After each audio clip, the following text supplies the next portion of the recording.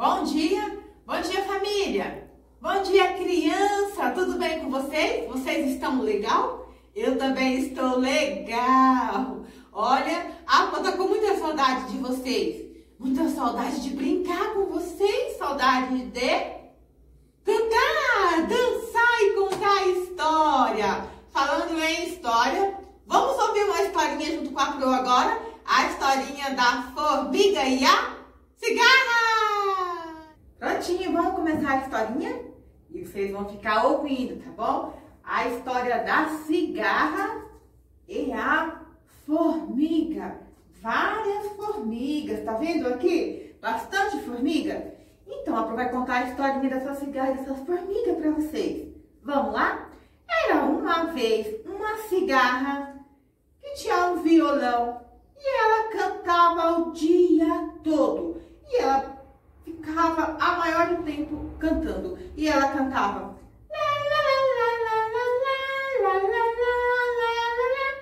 Com o violão, sempre cantando. Amanhecia o dia e ela ia para debaixo da árvore cantar. Cantava, cantava. Ela vivia feliz todos os dias para ela não tinha dia triste. Todos os dias era dia de festa, dia de alegria. Porque ela vivia cantando com seu violão.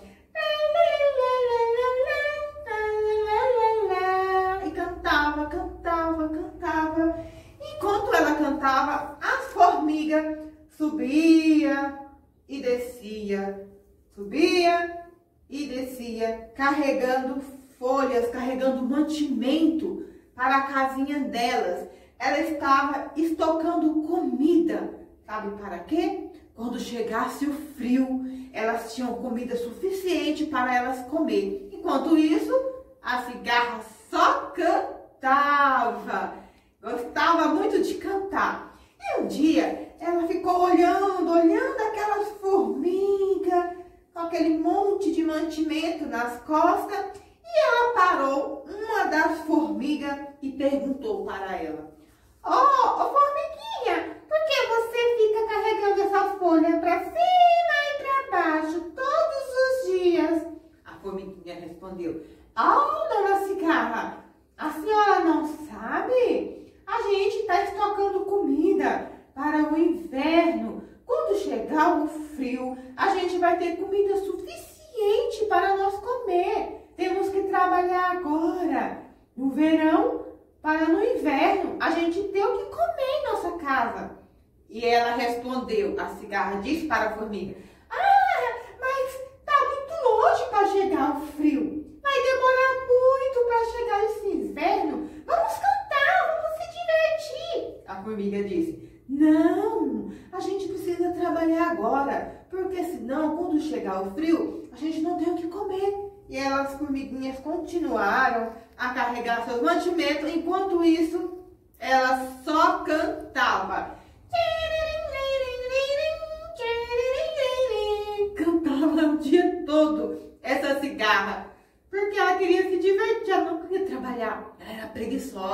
E as formigas trabalhadoras, olha como trabalhava. Um sol muito quente, o sol estava quente, quente, e as coitadinhas carregando aquelas folhas nas costas, quase mal aguentava subir aquela subida para chegar na casinha dela. E o tempo foi se passando. E não é que chegou mesmo o inverno, chegou um frio, um frio terrível, muito frio. E as formigas entraram todas para a casinha delas e ficaram lá dentro. Lá era bem aconchegante, quentinho dentro da casinha delas porque ela estava se escondendo do frio. E tinha muito mantimento para elas comer dentro da casa. Elas poderiam ficar um bom tempo até acabar o frio para elas saírem para fora da casinha delas. E a cigarra, coitada da cigarra, acordou pela manhã, estava um frio terrível e ela sentia muito frio e sentia muita fome. E ela, sabe o que ela disse? Ela disse assim: ah, eu não posso ser orgulhosa. Eu vou atrás daquela formiguinha que estava carregando aquelas, aquelas comidas gostosas. Quem sabe ela me dá um pouquinho e também ela pode me agasalhar. Ela pegou o violão, colocou nas suas costas e foi até a casa da formiga. Chegou lá, ela bateu. A formiguinha atendeu, porque ela reconheceu quem estava batendo. Porque ela gritou: Olá, formiguinha! Tem como você me ajudar? Estou tremendo de frio. Olha aqui, a formiguinha olhou desconfiada. Enquanto a formiguinha estava lá na porta, olha quem apareceu. Aquela formiga que manda em todos. Ela era chefe do bando.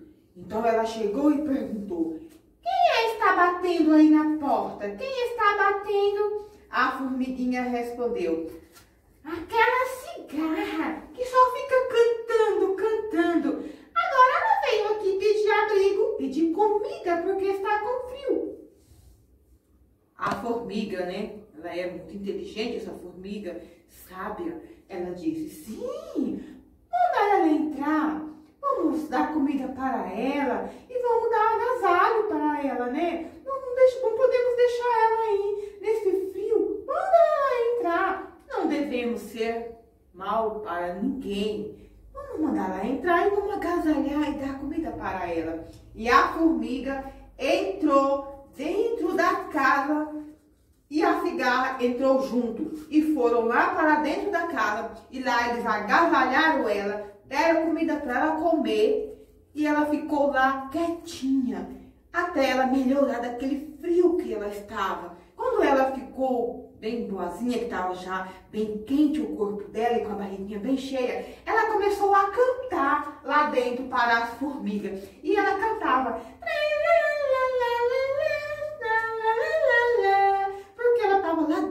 Porque ela foi acolhida pelas formigas. As formigas acolheram ela, né? Porque as formigas têm um coração bom.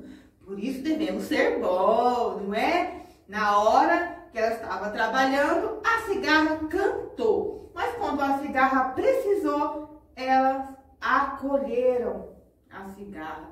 Devemos ser assim também nós, os humanos, não é mesmo? Legal, né? Essa história da formiga e a cigarra. E ela ficou lá dentro da casa da formiga. Quando passou aquele frio, ela saiu para fora junto com a formiga e aprendeu a lição começou a trabalhar. Sempre que estava chegando o inverno, chegando aquele frio, ela também começou a juntar mantimento para a casinha dela. Em vez de ficar lá, ó, cantando, ela ficou esperta, né? Começou a trabalhar e deixou de ser preguiçosa. Mas depois que ela aprendeu a lição, que tem que trabalhar, juntar seus, seus alimentos, para quando chegar a hora da necessidade, ela tem com que se virar em vez de ficar pedindo para os vizinhos. Legal? Muito legal. Agora vamos ouvir a historinha, a musiquinha da formiga? Vamos lá ouvir a musiquinha da formiga? Um, dois, três e... Já!